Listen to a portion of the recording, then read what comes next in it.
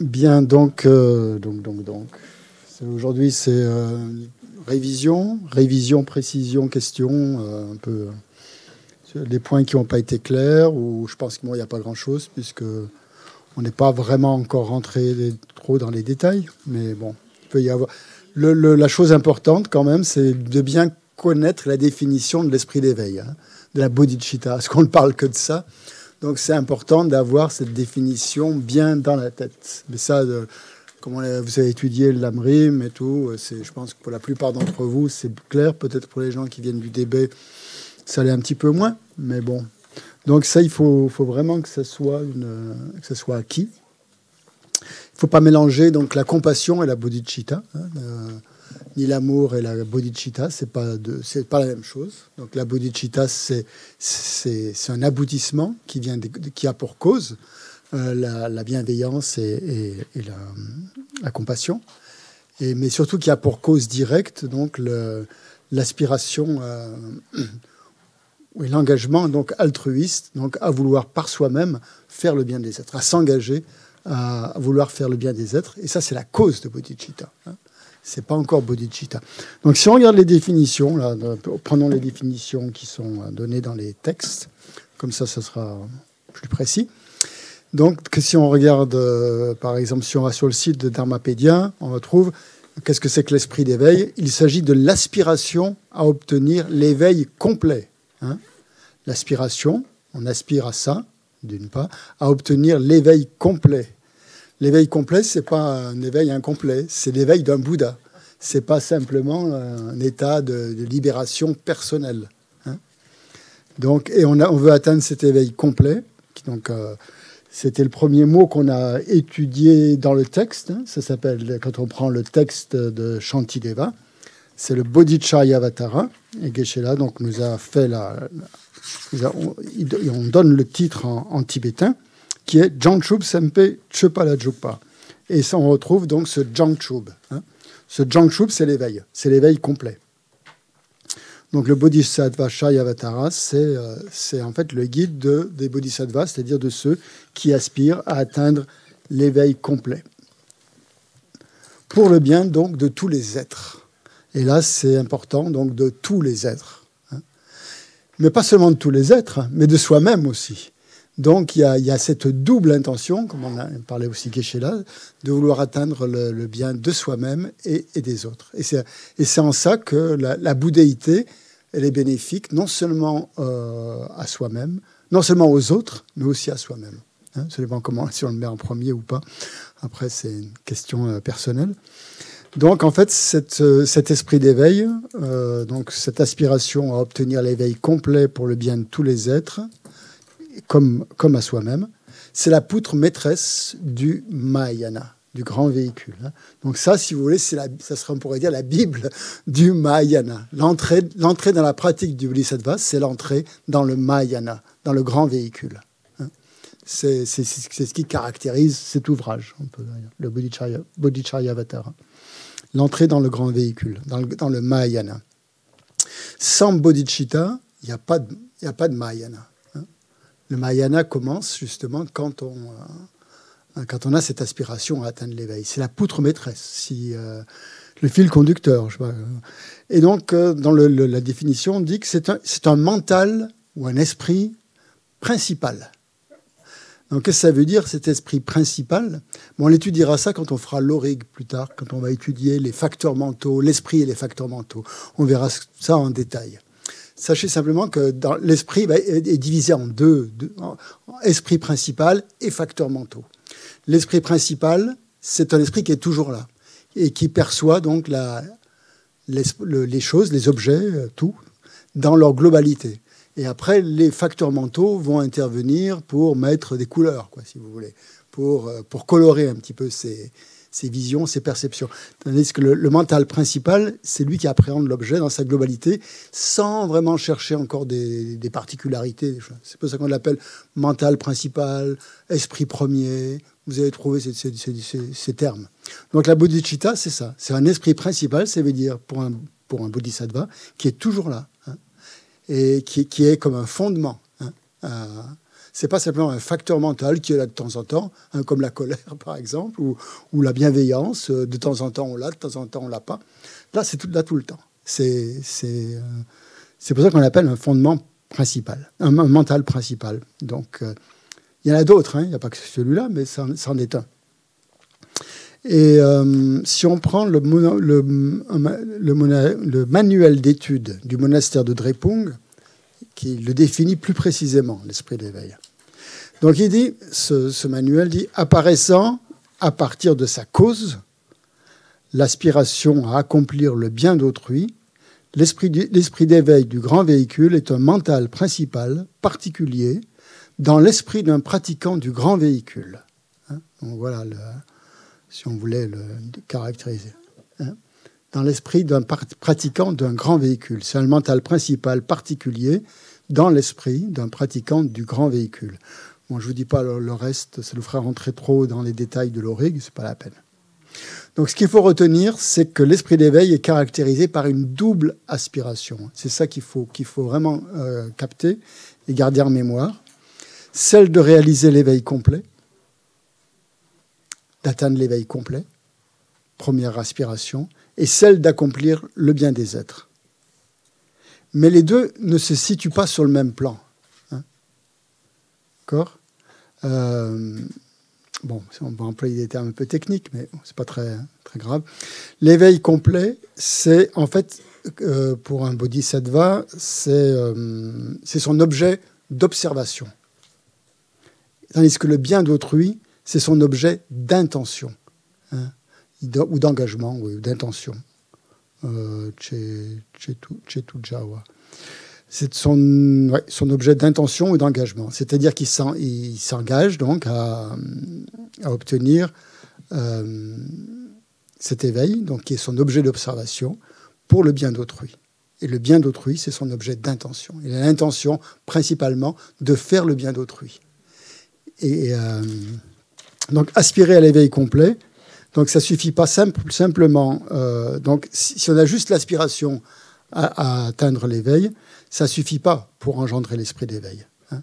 Il faut aussi aspirer à obtenir l'éveil complet pour le bien de tous les êtres. Donc l'aspiration principale, elle porte sur le bien des êtres. Et la réalisation de l'éveil, c'est le moyen d'y parvenir. Hein. c'est ça qui est important l'aspiration principale, c'est de faire le bien des êtres. Et l'éveil, bah, c'est un moyen. Hein. Donc en fait, c'est important. Parce que pour nous, on a l'impression qu'il faut atteindre l'éveil, il faut atteindre l'éveil absolument. Mais c'est rien dire, hein, atteindre l'éveil. Si on n'a pas cette aspiration à faire le bien des êtres, ça veut rien dire vouloir atteindre l'éveil. Hein. Donc l'éveil, c'est cette affirmation que l'on veut le bien des êtres.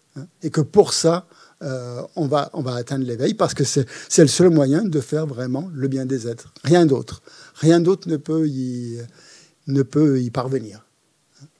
Donc vous voyez la différence entre, entre les deux. Donc les deux doivent être présents. Et j'ai. Il y a un passage dans le livre de Geshe Tekshop qui, commente les 37 pratiques des bodhisattvas, où il, euh, il explique ça en termes assez clairs, je trouve. Donc il dit aussi que la bodhicitta, c'est vraiment un esprit principal qui a deux aspirations, celle d'aider tous les êtres et celle d'atteindre l'éveil. On aspire tout d'abord à aider les êtres, puis on prend conscience que malgré cette volonté, on n'a pas encore la capacité de le faire. Et c'est ça, hein, la bodhicitta. On doit arriver à ce stade où on est dans l'intention supérieure de vouloir aider les êtres, mais qu'on se rend compte qu'on n'est pas capable de le faire. On n'est même pas capable de faire son propre bien, à la limite. Donc faire le bien des êtres, euh, c'est complètement euh, impossible, c'est une utopie. Et donc on continue à réfléchir et on se dit, mais, mais qui, qui a la capacité Qui peut faire le bien de tous les êtres comme ça? Qui a la capacité de le faire? Et la réponse, c'est un Bouddha. Et donc là, à ce moment-là, on génère la pensée de vouloir atteindre l'éveil. Hein. donc vous voyez, les deux ne sont pas tout à fait sur le même plan, mais sont complémentaires. Hein. Donc euh, c'est un Bouddha. Si nous avions atteint l'éveil et possédions toutes les qualités physiques, verbales et mentales d'un Bouddha, ses activités, sa compassion, sa sagesse, ses moyens habiles, etc., nous pourrions alors aider les autres. Donc en fait, un Bouddha, c'est quelqu'un qui a, qui, a qui a développé son potentiel au maximum et qui a toutes ses capacités pour pouvoir euh, aider les êtres dans toutes ses activités. C'est-à-dire que les activités d'un Bouddha, elles sont spontanées. Hein, le Bouddha ne se dit pas, mais qui est-ce que je vais aider aujourd'hui? Je vais aider celui-là, mais peut-être pas celui-là. Il n'y a, a, pas ça. Hein. C'est une activité complètement spontanée. Et ça, ça fait partie bon, ben, des qualités d'un Bouddha. Hein. C'est-à-dire que la compassion, elle est innée, on pourrait dire, à l'esprit d'un Bouddha. Il n'y a pas une réflexion. Hein. on dit que c'est une compassion non référentielle. aussi. On, utilise parfois, parfois ce terme. Euh, donc, que, peut faire un Bouddha? Ben, C'est justement, euh, grâce à cette compassion non référentielle, il peut aider tous les êtres euh, sans exception. Et, il va, et grâce à son omniscience, il va pouvoir les aider exactement selon la, façon, selon leur disposition euh, personnelle, mentale et autres. Donc ça, il faut, il n'y a qu'un Bouddha qui peut faire ça, qui a, cette capacité, hein, par sa compassion et par son omniscience, qui, qui sont complémentaires. Donc, euh, Geshe Deksho continue, ça je trouve c'est très intéressant. Lorsque nous devenons conscients de cela, nous engendrons du fond du cœur le désir ardent d'atteindre absolument l'éveil. L'esprit principal qui émerge en même temps que cette aspiration est la bodhicitta. L'esprit principal qui émerge en même temps que cette aspiration à aider les êtres est la bodhicitta. Nous voyons ainsi que le fait d'avoir bon cœur est certainement une grande qualité il n'y a pas de doute. Mais ce n'est pas la bodhicitta. Hein. De même, ni l'aspiration à aider les êtres, ni celle de devenir un Bouddha ne sont la bodhicitta. Une seule, hein, ce n'est pas la bodhicitta. Il faut avoir les deux pour avoir la bodhicitta. Si vous avez que l'aspiration à aider les êtres, hein, si vous avez que le bon cœur pour, vouloir le faire, ça ne suffit pas. Donc, de même, ni l'aspiration à aider les êtres, ni celle de devenir un Bouddha ne sont la bodhicitta. L'aspiration à aider tous les êtres est une cause de la bodhicitta. Elle apparaît avant et non pas en même temps. Et ce qu'il faut, c'est que ça apparaisse en même temps. C'est une double aspiration. C'est bien ce qui est dit. Hein. une double aspiration. Il n'y a pas une qui est avant l'autre. Euh, donc l'aspiration à aider tous les êtres est une cause de la bodhicitta, elle apparaît avant et non pas en même temps. Cependant, lorsqu'à partir de cette aspiration à aider les autres, nous engendrons l'esprit principal qui souhaite devenir Bouddha, nous avons généré une complète bodhicitta. Et il finit en disant, il est important de savoir précisément ce qu'est la bodhicitta. Hein? Sinon, nous ne serons pas capables de la développer correctement dans notre courant de conscience et nous ne pourrons pas en retirer les immenses bienfaits qui en découlent. Donc voilà, le. Ça, c'était dans le. 193-194.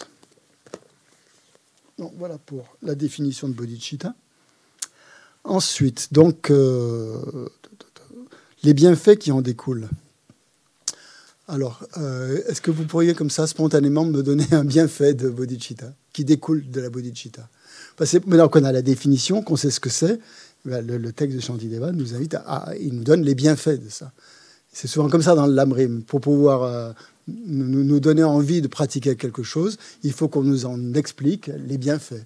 Sinon, on ne va pas le faire. C'est comme ce qu'on fait pour n'importe quel produit, euh, que ce soit un téléphone ou ou autre chose. Bon. Quoi? Alors, purifier les méfaits. un des, donc, oui, c'est ce qu'on a expliqué aujourd'hui. Ça purifie les méfaits, les méfaits les plus lourds, les plus. Euh, alors maintenant, c'est ok. pourquoi ça purifie les méfaits? Pourquoi la bodhicitta purifie les méfaits? Oh, Ok, quand on médite sur bodhicitta, on va, peut-être passer en revue les bienfaits pour se donner l'élan et puis se dire mais pourquoi? Il faut se poser la question pourquoi? Alors, tu, attends tu es un bon élève, tu attends le, micro. Bon, et eh parce que en fait, elle est génératrice de très bons karmas qui vont, euh, qui vont compenser euh, ben, le, reste de l'énergie positive qui va des, voilà. Donc c'est le bon karma qui élimine le mauvais karma. Non, non, pas, pas exact.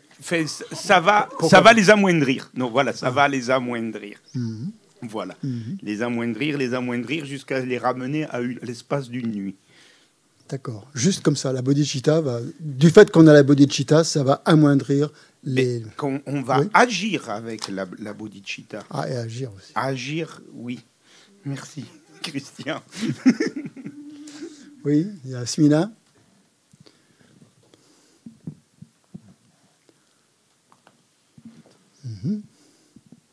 ben, Du coup, ça va nous. Euh, euh, ça va faire qu'on va peut-être euh, mettre en place plus de vertus, d'actions positives. Mm.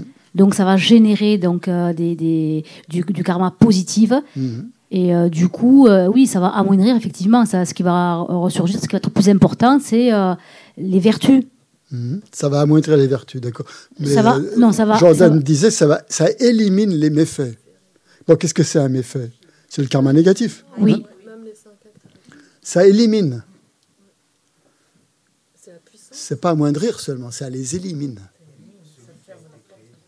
Ceux qui ont été créés précédemment. Attends, attends, le micro. tu as un masque, alors, il n'a pas le micro en plus. Je sais pas, c'est comme. Euh, j'ai une image qui me vient à l'esprit. Si on met un grain de sel dans un verre d'eau, le grain de sel. Euh, se dissout. Euh, se dissout, mais l'eau sera salée. Si on met un grain de sel dans un océan, hmm. il va pouvoir se désintégrer complètement. Donc c'est la vastitude, la puissance de l'aspiration qui permet d'amoindrir notre petit moi, en fait. Mais peut-être qu'on passe à la bodhisattva ultime, là, je ne sais pas. Mais la, puisse, la vastitude de la motivation et sa puissance permet hmm. de décristalliser, enfin de hmm. d'anéantir en fait, avec une puissance euh, infinie. Oui. Sur, sur, Zoom? Oui, oui. sur Zoom. Oui, euh, sur Zoom. Xavier. Xavier Xavier, on t'attend. non, on t'entend pas. Non, on t'entend pas, oui. Va attendre. Non, Xavier, on t'entend pas, c'est vrai. Oui, Patricia, elle est aussi Patricia. Euh, oui. Oui, attends. Oui, ok. Euh, ben, du coup, si on a vraiment la bodhicitta, on ne veut pas nuire aux êtres, et si on ne veut pas leur nuire, on ne va pas produire des karmas négatifs. ok, on ne crée pas de nouveaux karmas négatifs, ça c'est sûr, mais comment ça élimine les méfaits ça élimine le karma négatif. Est-ce qu'on peut dire que méditer sur la, sur la bodhicitta... Pas, pas en même temps. Vas-y. Ben, je vais dire que du coup, bah, un peu pour la même raison, en fait, les empreintes qui restent euh, suite aux, sont éliminées. aux méfaits qui ont été faits, en fait, ils vont être neutralisés parce qu'on n'aura pas, hmm. on ne va pas être en état de produire euh, ce qui devrait se produire si on ne souhaitait pas le bien des êtres. Hmm. Donc ça les neutralise d'office. Hmm. Je n'ai pas bien compris la, la fin. Bah, du coup, les, les, méfaits, bon, il y a ceux qu'on ne va pas commettre parce que, voilà, comme on veut bien, on ne va pas le faire. Et ceux qu'on a déjà fait, qui ont laissé des empreintes des potentiels. Euh, mmh. Du coup, comme on a toujours cette aspiration à ne pas vouloir nuire, ben, du coup, les potentiels qui restent, ils ne vont mmh. jamais passer en action. Mmh. Donc, ils vont euh, disparaître d'eux-mêmes. Ben, pas, pas vraiment, en fait. Mais, euh, enfin, en tout cas, on sera capable de voir que c'était des erreurs. Mhm. Et donc, d'essayer de, désactiver ça de nos mhm. habitudes. Mhm. Tous ces méfaits ont été créés par quoi? Par la, la, la saisie du soi et, l'autochérisme. Hein et la, les body, la bodhicitta, donc. Euh, quand on parle de la bodhicitta, c'est la bodhicitta complète. Hein, euh, quand on a aussi réalisé euh, aussi. Ah bah dans ce cas hein, d'accord, la bodhicitta ultime aussi, hein, qui permet aussi donc, de voir que ce que ce je n'existe pas lui-même. Oui. Et puis ça va donner envie de. Oui. Ah ben oui, continuellement. Il y a une énergie positive qui se met en place et euh, comme elle prend le dessus, ben le reste euh, s'élimine complètement, se dissout, comme tu disais, Capucine. Oui. Jean-Louis, tu avais une, intervention. Oui, attends, attends, attends, le micro. Le fait de générer bodhicitta, oui. Enfin, quelques... Oui, pardon. Ça, ça, annule les causes et les conditions qui feront que les karmas négatifs puissent se déclencher. Oui, Donc en fait, quand on, a, quand on génère une bodhisattva ultime, on, a, on ne crée plus de situations conflictuelles. Même conventionnelles, même conventionnelles. donc les, les, les, karmas négatifs qui sont dans notre sac à dos depuis quelques années, mm. quelques vies, mm. euh, ne peuvent pas, ne trouvent pas les causes et les conditions pour pouvoir se mettre en place. Donc automatiquement, il se manifeste de stérilisation mm. de ces graines karmiques. Ok, très bien. Ok, donc voilà, c'est comme ça qu'il faut procéder quand vous méditez sur euh, chose. Même si c'est pas tout à fait juste, juste, ça fait rien. Hein. Essayez de trouver des raisons, des raisonnements qui vous prouvent à vous-même euh, que c'est vraiment bénéfique, par exemple, cet esprit d'éveil. Donc voilà, tout fait. Tout ce que vous avez dit, c'est très bien. On peut trouver comme ça différentes raisons. Hein. Un, autre, euh, un autre exemple de, bienfait de l'esprit d'éveil. Oui, ben, ben, moi, je pense que ça donne envie encore d'être de, de, dans cet élan, euh, de créer des vertus. C'est-à-dire que notre esprit, il est accaparé par, euh, euh, voilà, par essayer de, faire le bien, voilà, de, faire du mieux que possible pour faire le bien. Mm-hmm. Très bien. Mm-hmm. Oui.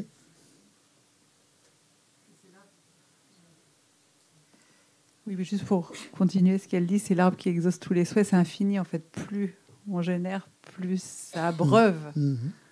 On abreuve. Et donc on s'abreuve. Dans le lamrim, oui, pardon. Euh, quelqu'un veut intervenir aussi? Carole? Oui. Euh, il a bien euh, insisté sur le fait de ne jamais abandonner euh, cet esprit d'éveil, parce que c'est la pratique essentielle qui ferme la porte aux destinées inférieures, aux renaissances infortunées. Donc c'est un de ses bienfaits aussi, oui. Oui. Et ça augmente quelque part euh, le, le, gain de longue vie, hein, avec euh, possibilité aussi de, de, richesse, de mhm. gain d'amis, enfin en tout cas d'être dans l'abondance. Hein, parce que plus, plus on développe bodhicitta, plus on peut partager hein, des trésors de mhm. bodhicitta. Mhm. Oui. Euh, sur Internet, il y a Sven. Oui. Oui, moi, je m'imagine que ça va me, renforcer mon, enthousiasme. Ou euh, Je ne me rappelle plus l'expression qu'on avait eue. En, je crois que c'est l'effort joyeux. Oui. Euh, ah moi, j'en attends ça. Oui, tout à fait. Dans le Lamrim, si vous vous référez au Lamrim, il y a combien de, bienfaits de, l'esprit d'éveil On a étudié le lamrim. Hein, on a vu les, les 8 Pas mal. 10, ouais. 10. Vous vous souvenez lesquels? On les, on les passe en vue Vite fait? Allez, je vous les donne euh, parce que sinon on va passer là-dessus. L'esprit d'éveil est l'unique entrée, l'unique possibilité d'entrer dans le grand véhicule, dans le Mahayana. Hein. vous vous souvenez de ça? Sans, bon, c'est ce qu'on disait tout à l'heure, sans l'esprit d'éveil, on ne peut pas rentrer dans le Mahayana. Une deuxième, euh, deuxième bienfait de l'esprit d'éveil, ça a été dit ce matin dans, dans une strophe de Shantideva, on devient l'enfant des Bouddhas automatiquement. On a le titre de Bodhisattva, on devient l'enfant des Bouddhas. À l'instant même où l'esprit d'éveil naît en nous, où on, fait naître ce, cette bodhicitta, nous devenons un Bodhisattva et portons le nom de fils ou de fille des Bouddhas. Nous, entrons donc dans la lignée des Bouddhas et euh, voilà. Euh, c'est intéressant aussi, je j'ai pensé ce matin. Euh, non, ça me vient comme ça. parce que Shantideva, c'était un prince, on nous a dit dans sa biographie. Et, le mot pour enfant de Bouddha, c'est un prince aussi. Hein. c'est exactement la même chose. C'est la même, la même origine. On dit un enfant de Bouddha, mais c'est comme c'est un prince. Et donc quand on parle du prince, est-ce que c'était vraiment un prince? Je ne sais pas. On dit oui, dans la légende, c'était le fils du roi, je ne sais plus lequel. Et, euh, mais en fait, ce, titre de prince, c'est plutôt sa qualité. Pour moi, c'est sa, qualité de, bodhisattva, en fait, qui en fait un, prince. Un bodhisattva n'est pas encore un, Bouddha, mais euh, il est promis à l'éveil. Hein. de la même manière qu'un prince est promis à devenir un roi. Donc il a ce de, par sa, euh, filiation, on pourrait dire. Hein. automatiquement, dès qu'il a généré l'esprit d'éveil, le, bodhisattva est affilié à, l'éveil. Il va devenir Bouddha. Et c'est ça qui, est beau, je trouve, là-dedans. C'est que, voilà. Donc, automatiquement, dès qu'il y a ça, dès qu'on a, dès qu'on est, devenu un bodhisattva, on deviendra forcément un Bouddha. On ne va pas faire demi-tour. Oh, ben, bien des êtres, euh, finalement, je m'en fiche.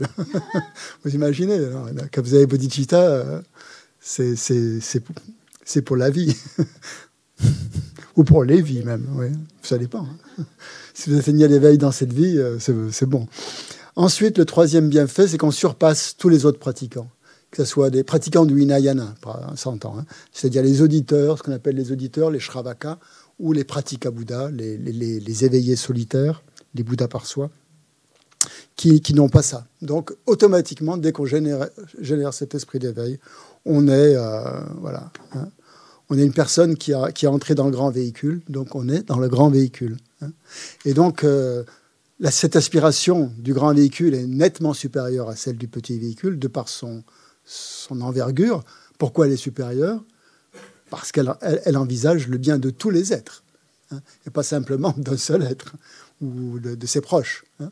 Donc c'est en ça qu'elle est supérieure. C'est pas parce que le grand véhicule est supérieur au petit véhicule. Euh, euh, d'ailleurs, sans le petit véhicule, il n'y aurait peut-être pas de grand véhicule, d'ailleurs. Donc, euh. Donc, automatiquement, les, bodhisattvas deviennent supérieurs aux arhats.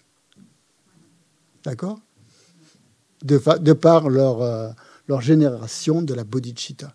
Ils deviennent supérieurs aux arhats.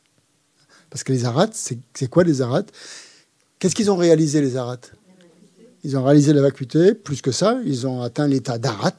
Hein c'est-à-dire qu'ils ont non seulement ils sont des arias qui ont vu, qui ont perçu directement la, la vacuité, mais en plus, ils ont éliminé toutes les, euh, les afflictions, euh, le voile euh, émotionnel, le voile afflictif et les graines. C'est quand même pas rien. Hein mais un bodhisattva, même s'il n'a pas encore éliminé toutes ces graines, c'est-à-dire toutes ces. il n'a pas atteint, éliminé complètement l'ignorance, il est supérieur, de par sa, bodhicitta, il est supérieur à, un arat.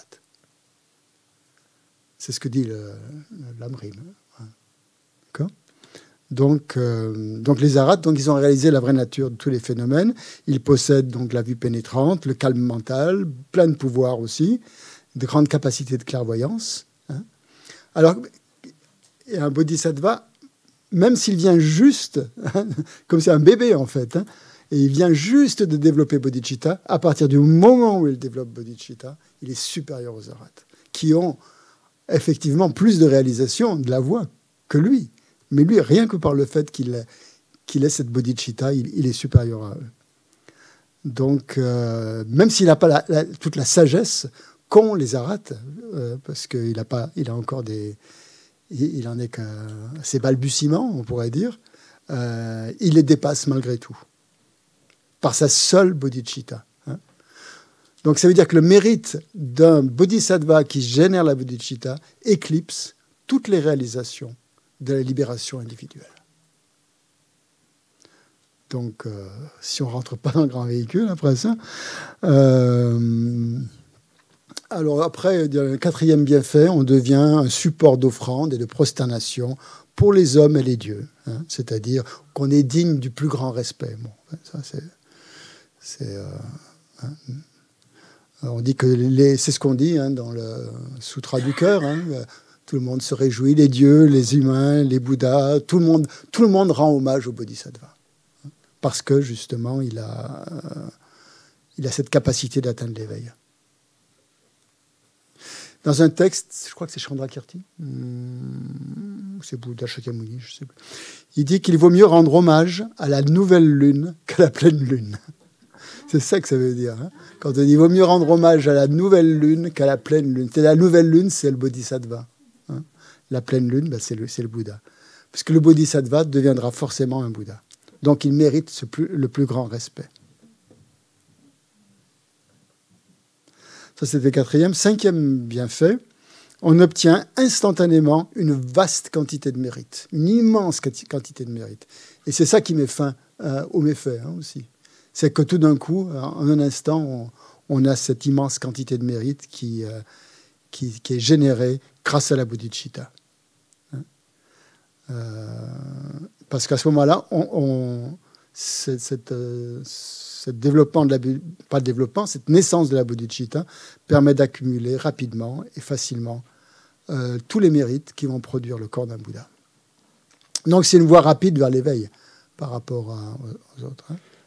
Hein, puisqu'on va franchir directement les cinq chemins du Mahayana jusqu'à l'au-delà de l'apprentissage.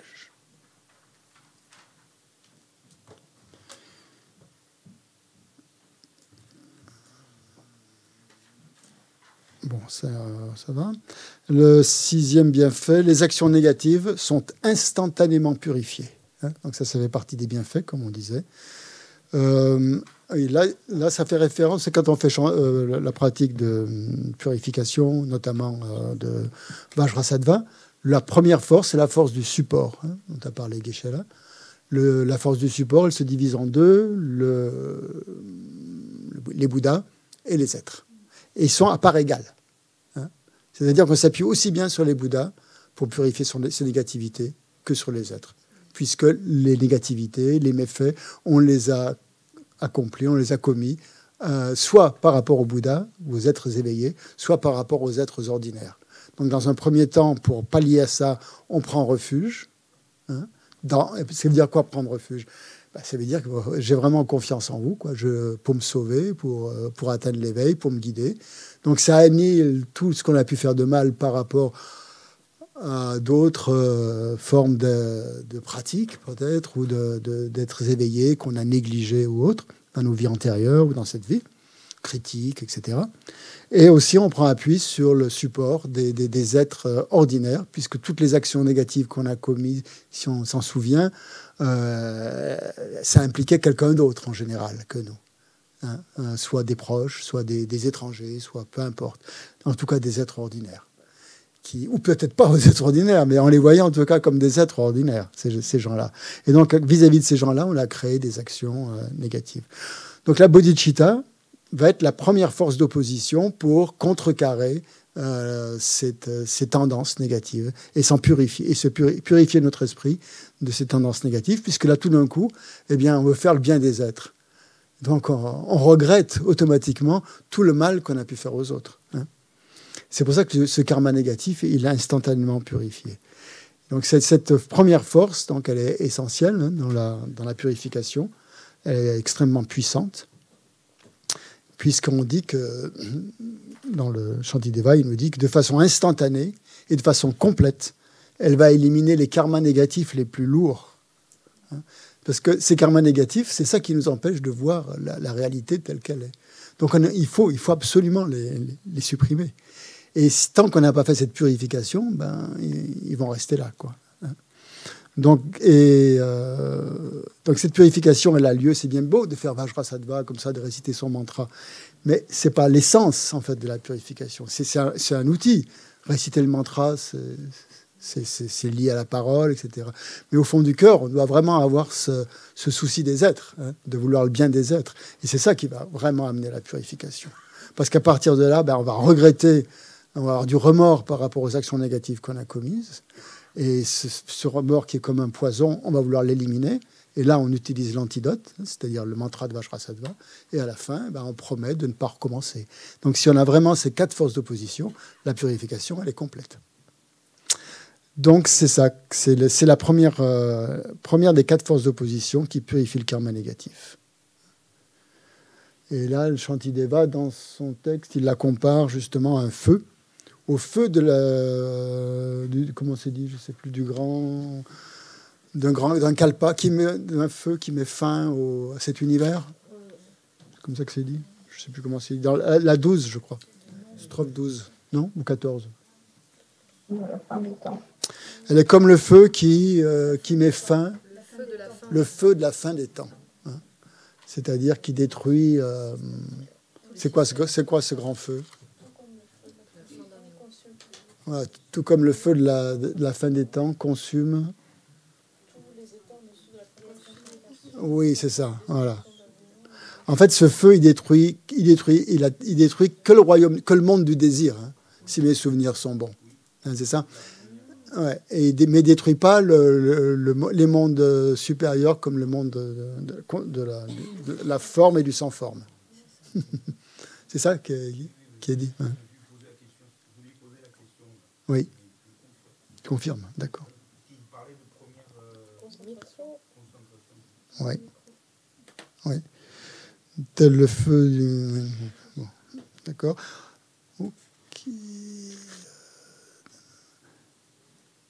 Bodhicitta aussi, c'est comme quelqu'un de, courageux hein, euh, qui, qui, va nous aider, un ami fort et courageux, euh, grâce auquel nous pouvons voyager sans, sans, sans craindre d'être agressés. C'est aussi ce qui est dit dans. Euh, tous nos souhaits sont exaucés. Tous nos souhaits sont exaucés par la bodhicitta. Donc c'est pas la peine de,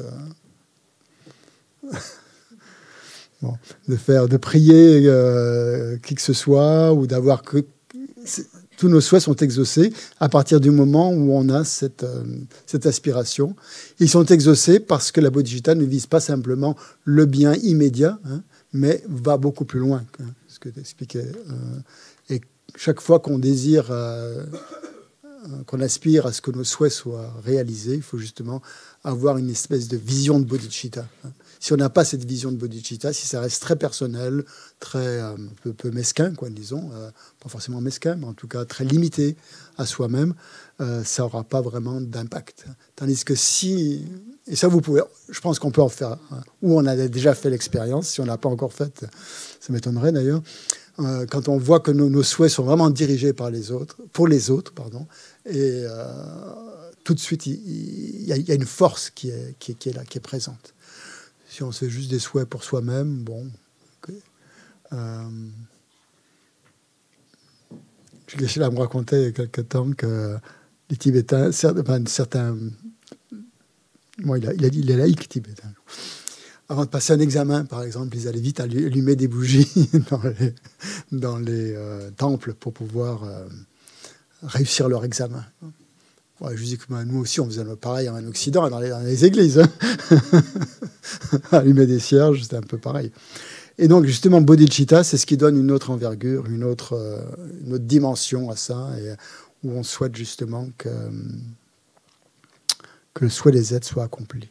Et donc, un des moyens habiles pour faire cela, c'est lorsqu'on veut que ces souhaits personnels soient réalisés, on essaye d'inclure aussi de penser qu'on n'est pas le seul à, vouloir, à avoir ce souhait, qu'il y a des milliers, voire des millions d'êtres qui l'ont aussi. Et à ce moment-là, on a notre souhait personnel à une dimension beaucoup plus vaste. Et, euh, voilà. et on s'oublie soi-même un peu dans, l'histoire. C'est ça aussi le but. Voilà, on, s'oublie euh, et on essaye de plus se concentrer euh, sur les souhaits des êtres. Hein. Donc c'est en ça que la bodhicitta, elle, elle accomplit nos souhaits pas nos souhaits personnels, mais les souhaits que l'on, l'on destine hein, à tous les êtres. Nous sommes protégés des obstacles, huitième bienfait. Euh, septième, tous nos souhaits sont exaucés. Huitième, nous sommes protégés des obstacles. Alors, euh, nous sommes protégés des obstacles. Pourquoi on est protégé des obstacles? Il peut y avoir différentes raisons une des raisons que j'ai entendues, c'est que qui est, qui donnée dans l'amrim, c'est que quand, quelqu'un, quand un bodhisattva a cultivé, donc cultive la bodhicitta, les protecteurs du dharma sont ravis. Et tous ceux qui sont dans les environs vont euh, continuellement protéger ce bodhisattva, sans, que, sans même que le bodhisattva le demande d'ailleurs. À partir du moment où il a cette motivation, tout devient beaucoup plus facile. Hein. Les obstacles se, se dissipe. Soit grâce au protecteur, si on croit au protecteur, soit parce que c'est la force de bodhicitta qui, le fait, qui, permet cela. Mais euh, dans le Lamrim, il est bien dit que euh, que, toutes les, tous les rituels que l'on peut faire où on invoque les protecteurs, où l'on offre des tormas, où l'on fait des, requêtes ferventes aux protecteurs du Dharma, euh, même si on fait ça, c'est pas certain que ces protecteurs vont se manifester, vont apparaître. On aura beau leur faire des offrandes et tout. Si, si l'intention n'est pas pure au fond du cœur, s'il n'y a pas cette intention de bodhicitta, les protecteurs ne vont pas forcément exaucer nos souhaits. Alors que si à la bodhicitta, automatiquement, ces souhaits euh, seront exaucés. Donc on dit que de toutes les pratiques qui éliminent les obstacles, c'est pas forcément la pratique des protecteurs qui est, qui est agissante, mais la plus puissante, donc c'est la bodhicitta.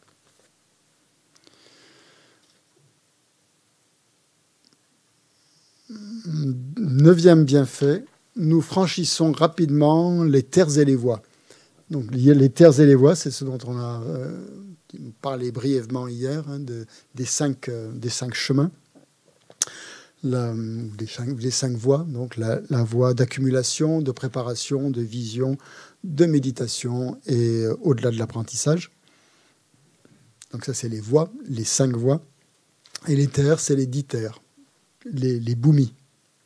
C'est-à-dire lorsque l'on lorsque a perçu directement la vacuité pour la première fois, on entre sur le, chemin de la vision et on arrive, on, entre aussi sur la première terre. Hein. Donc les, les, dix terres vont être euh, gravies, franchies euh, depuis la voie de méditation jusqu'à la voie sans apprentissage, jusqu'à l'état de Bouddha. Donc grâce à la bodhicitta, on va progresser rapidement euh, sur les voies du Mahayana, hein, bien sûr et sur les dix terres d'un bodhisattva. Quelles que soient nos pratiques, après que l'on fasse, que ce soit des pratiques des tantras, tout ça, on dit que les pratiques des tantras vont, sont beaucoup plus rapides que les qu'en pratiquant les sutras, mais il ne faut pas oublier qu'elles sont rapides à condition qu'on ait, ait développé la bodhicitta. Elles ne sont pas rapides en elles-mêmes. Hein. C'est pas parce que vous allez agiter une cloche, dans, dans, tenir le dorje et agiter la cloche que, ça y est, vous allez avancer plus vite que, les autres qui l'ont pas. Hein. Euh, mais non, c'est parce qu'en fait, c'est que si vous pratiquez les tantras, c'est qu'à la base, euh, vous avez ce, ce, désir, cette motivation d'atteindre l'éveil le plus rapidement possible parce que vous supportez pas de voir souffrir les êtres. Hein que vous en avez assez de voir et que vous, vous voulez atteindre l'éveil le plus rapidement possible pour que vous soyez Bouddha et que les êtres euh, ne souffrent plus. Donc c'est ça la, motivation qu'on doit avoir de bodhicitta qui, euh, qui, qui, est, qui, un préalable à l'entrée dans les tantras. Bon, après, c'est au moins cette aspiration en tout cas. Et donc grâce à ça, eh bien sûr, on va franchir rapidement les terres et les voies et on va pouvoir utiliser tous les moyens que nous offre le grand véhicule, que ce soit les sutras, que ce soit les tantras. Et on peut donc atteindre ainsi, donc grâce à bodhicitta, on peut atteindre l'éveil en une seule vie. Sans bodhicitta, c'est pas la peine, hein, c'est pas possible.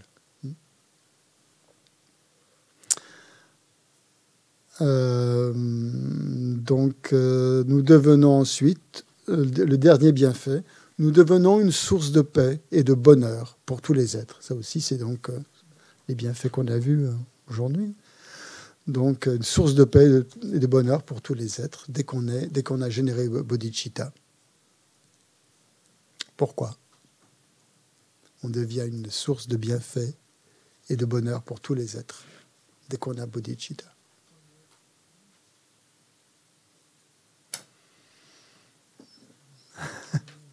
Parce que c'est dit dans le texte. Oui, on peut croire comme ça, dans la foi, dans le dharma, tout à fait on ne, le, on ne leur nuit pas. Hmm. À partir du moment où on a généré bodhicitta, notre aspiration à atteindre l'éveil se renforce de plus en plus et on est de plus en plus effectivement euh, bénéfique aux êtres au fur et à mesure que l'on pratique, cette, que l'on cultive cette bodhicitta et jusqu'à l'état de Bouddha, où on est complètement bénéfique aux êtres. Donc il y a une progression sur la voie, sur la voie du, grand véhicule, jusqu'à l'état d'éveil, où on est de plus en plus bénéfique aux êtres. Plus on va évoluer sur les terres, sur les terres et les voies. Hmm. Euh, voilà, voilà les, dix bienfaits. Euh, vus rapidement un petit peu, mais vous pouvez les, retrouver si, si vous ouvrez le Lamrim tout, tout ce qu'on étudie, de toute façon, on doit avoir comme toile de fond, comme base, le lamrim. Hein. Donc, quand vous quand vous comprenez pas quelque chose, hein, ça doit être notre, notre référence. Hein. C'est toujours le lamrim. que ce soit pour le karma. Geshe a insisté aussi que de voir entre le, lien entre la, bodhicitta et, le karma aussi. Donc ça, ça nous renvoie encore, encore là au Lamrim. Hmm. Et euh, toute, la bodhicitta est la source de tout bien et de tout bonheur dans le monde. C'est un des, bienfaits. Euh,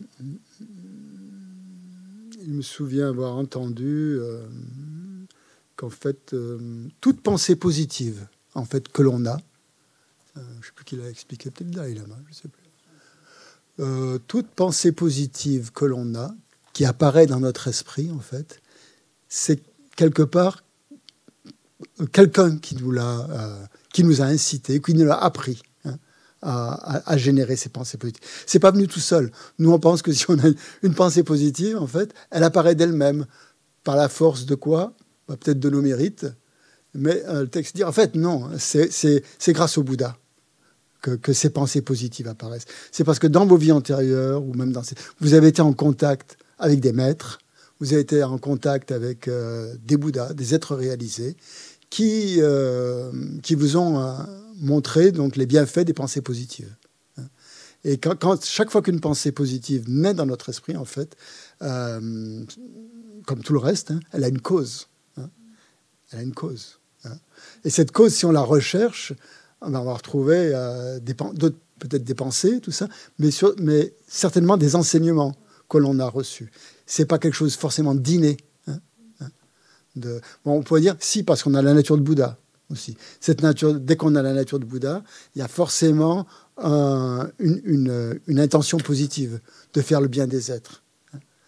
Euh, on pourrait même dire que puisqu'on a la nature de Bouddha, on a même envie de faire son propre bien aussi. Si on n'avait pas cette nature de Bouddha qui est, qui est notre, euh, notre santé fondamentale, comme dit Shogam Trungpa, euh, on n'aurait pas envie de développer des pensées positives mais euh, cet accès à la nature de Bouddha, il vient des enseignements. C'est grâce aux enseignements que l'on reçoit que, ça nous touche, que ça nous ouvre et qu'on et qu'on devient de plus en plus positif.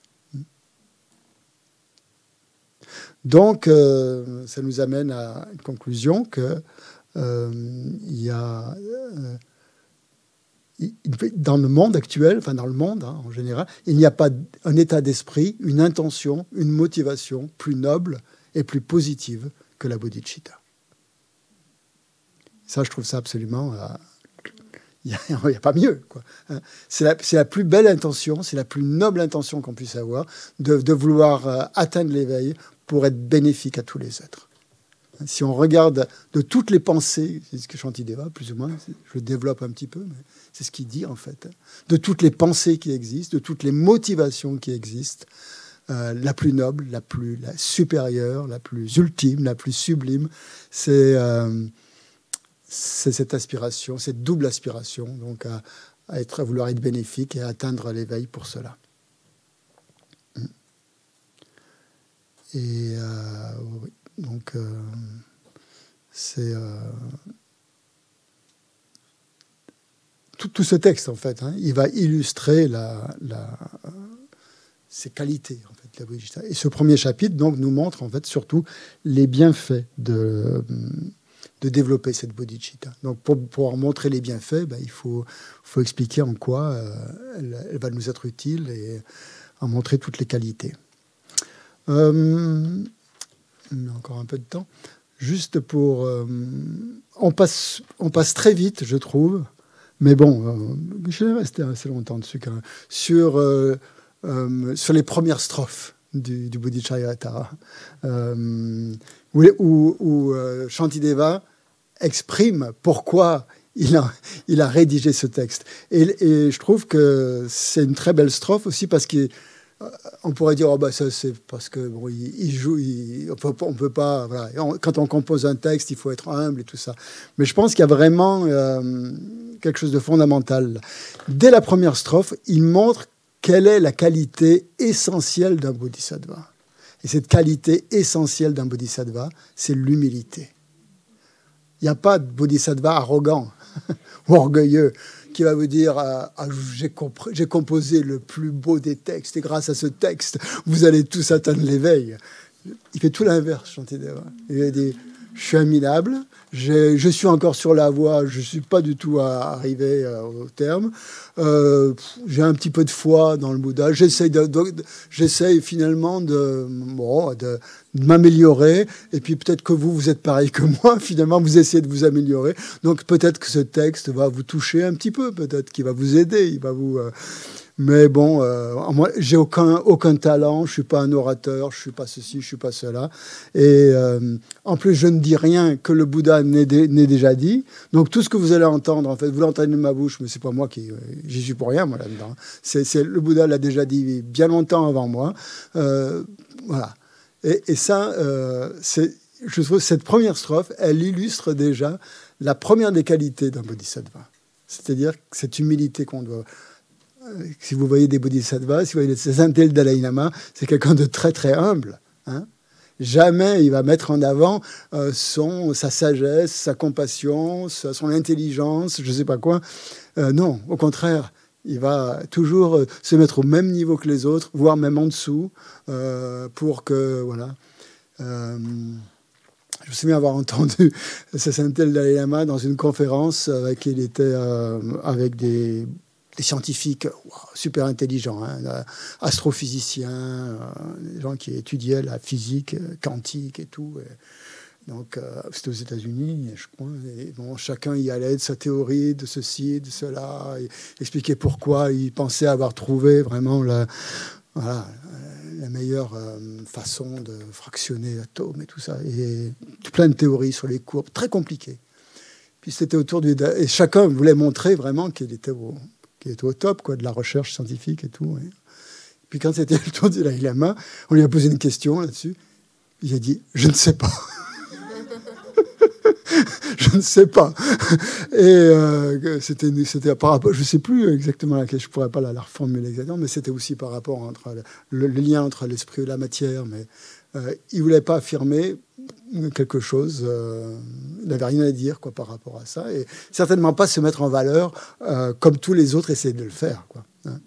Donc, dès le départ, et, et, ça laisse après ça, il y a eu comme un, comme un froid. Quoi. Tout le monde s'est regardé. Si le Dalai Lama ne sait pas, pourquoi est-ce qu'on l'a invité ici?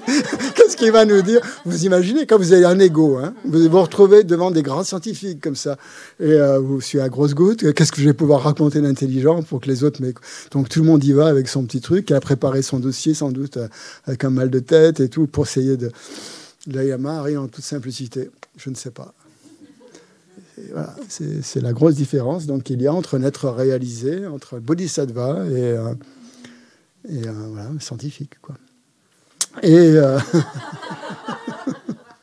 et donc le, le bodhisattva, ça commence comme ça, si vous voulez. Hein.